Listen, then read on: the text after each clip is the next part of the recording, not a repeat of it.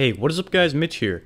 Now, I'm on vacation in Doral, right outside Miami, and I thought, why not make a top 5 travel tech video? So let's get right into it.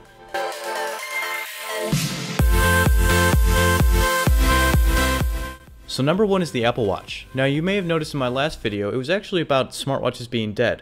But for me, I don't think they are right now, and I love them for traveling.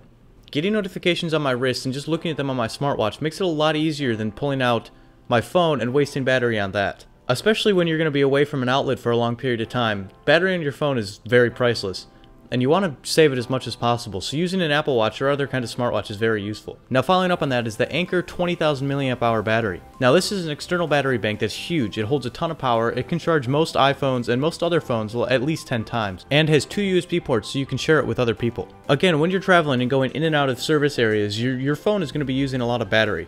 And having something like this that allows you to have power anywhere is very useful. If you're running low on power, or if someone else is running low on power, you can lend them a battery and then they can charge up their phone. This is a great way to be very popular at an airport or on airplanes, but being able to charge up other people's phones when they don't have a charger themselves. It's not that large or that heavy for what it is, and it's not that expensive for how much battery capacity you're getting.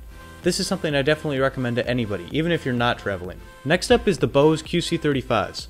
Now, these are expensive, but if you're going to be traveling a lot, especially on airplanes, these are super useful. They're wireless through Bluetooth and can connect to two devices at once and switch between them intelligently. But the bigger thing is that they're noise canceling, which is super useful on planes or on trains. Have you ever been on a plane or a train or something with a baby crying and there's no way to make them stop and the parent is oblivious or doesn't care? Then these kind of headphones are perfect for you. Drowning out any sound around you is what you really want on a plane, if you want to get work done or anything else. Using these for long periods of time on long flights, listening to music or watching movies is perfect. If you travel a lot and are looking for a good pair of headphones, these are the ones to buy.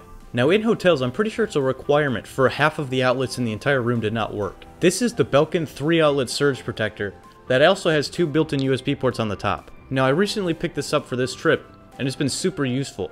In the room that we're staying in, there's two outlets not working and only one of the outlets works in the entire room. So plugging this in, you have three outlets as well as two additional USB ports that you can use for charging your phone or anything else you need to charge. I'm actually using this to plug a lamp into because I want to have the lamp, but it's not working in any of the other outlets. It's smaller than a normal power strip too, which is perfect for putting in a backpack when you're traveling. It's also under 20 bucks, so if you travel a lot or are looking for a smaller surge protector, this is a great pickup. Of course, all this stuff will be linked down below in the description, and let, let me know if there's anything you think that could be added to this travel collection.